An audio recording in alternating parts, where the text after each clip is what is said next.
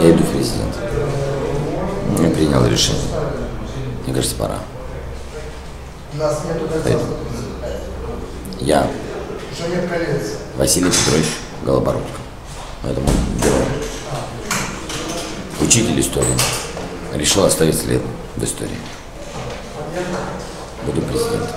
Будет очень интересно и очень здорово, потому что это все делается очень талантливыми людьми.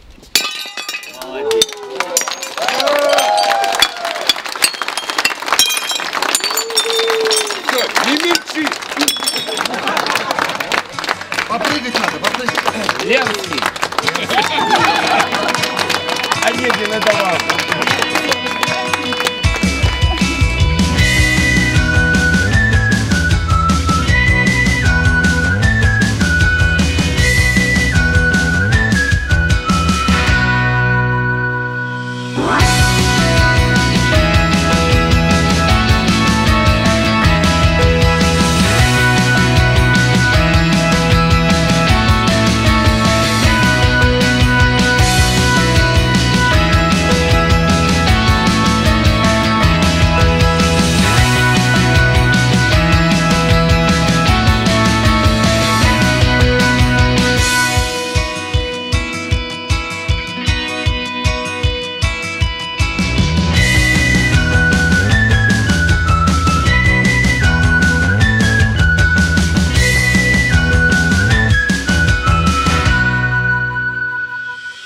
Задумали классное новое кино. Такого еще не было на нашем экране. Кино наше о том, как ты стал президентом. Вот ты, вот каждый зритель, который будет смотреть, он так или иначе мы всегда задумываемся. Вот, вот, вот я бы, вот если бы я, я бы, и вот, в общем-то, это и произошло. Вот такой простой человек стал президентом, возглавил страну, э, ну и дальше пошло-поехало. Приготовились съемки на исходные. Снимаем. кино у нас. Но, естественно, при таких артистах, которые снимаются в этом кино, это, наверное, если вы догадываетесь, это жанр комедийный. Жанр комедийный, но с ответвлениями трагикомедии, лирической комедии и такой вот, э, в общем-то, всевозможный такой себе, а, мой, э, целая палитра, целая палитра в комедийном как бы жанре.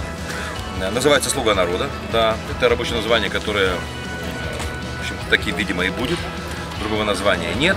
Э, Политическая сатира, еще вот э, такое вот, что лакирует этот проект. Это политическая сатира. Чуть-чуть открываем. У нас простой учитель истории становится президентом Украины. Он выбран вопреки, потому что народ уже не знает, кого выбирать. Главное, они выбрали человека, который честно сказал, вот, э, нелицеприятно о том, что происходит э, в стране. Был выложен на YouTube, э, вот, и страна пошла голосовать за него. И проголосовала. Мы работаем честно, работаем от души, много импровизации, в хорошем настроении. Я думаю, это бумерангом ударит на результат. Так всегда бывает. Если нам хорошо, значит и зрителю будет хорошо. Хорошо и весело. Что ты пишешь все время? Это мы же реалити-шоу параллельно еще снимаем, запустим. Опа, видел? Правильно. Короткая историческая справка. Михаил Грушевский. Вот этот бородатый мужчина на полтиннике. Первый президент Украины. Мы сейчас, сейчас снимаем в том месте, где в семнадцатом году его Центральная Рада избрала первым президентом Украины. Напоминаю. Снимай, и в интернет. Вот так Роли. вот так получают роли. роли. Вот так. Кто вы вообще в фильме? Вы, вы играете Я роль? играю отца президента. Вот, то есть мой сын, учитель, который так вот с неожиданным поворотом, совершенно фантастическим, был избран президентом страны. И вот на модели семьи предлагается такой вот вариант посмотреть всем. А как бы ты себя повел, оказавшись в подобной ситуации? Слушай, слушай, во мне украинской крови больше, чем у вас всех вместе взятых. А сейчас мы ее выпьем. А нельзя ли объявить обед? Нельзя ли? Давай уже, ну. Моя героиня Наташа отличается от остальных э, героев тем, что она, она умеет моргать обеими глазами по отдельности. Смотрите. Правым. А теперь, внимание, левым.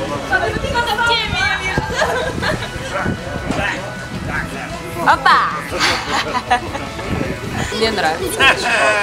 Ну, потому что своя компания, своя группа любимая, очень легко, очень интересно, потрясающий материал. И, и это не работа.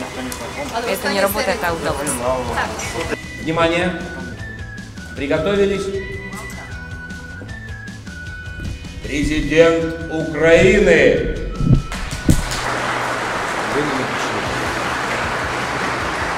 Это все сказка. Для взрослых. Для взрослых.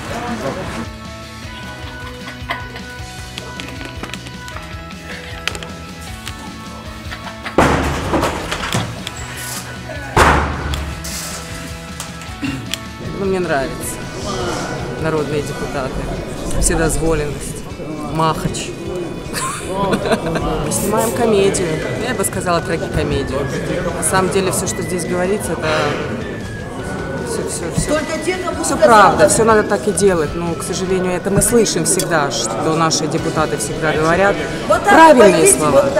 Но никто ничего не делает. Никто. Степыч, как дела? Все пучком, я снимаюсь с клевым чувачком. А кто ты? Подожди, кого ты играешь в фильме? Я спичрайтер. Это кто? Не знаю, слово мудреное какое-то. Директор. Надеюсь, хороший. Да замечательно. Вообще, 95-й квартал, лучший квартал в мире. Вообще, я рад, что я тут чуть-чуть живу. І очень рад би жити всегда. Якщо не знаєш, хто така Ніна, будеш падати. Ніна це я. Художник по гриму. Понятно? Чи ні? Стоп! Да, хорошо. Вообще кино про нас. Да. Про Свету и Наташу. Это мы.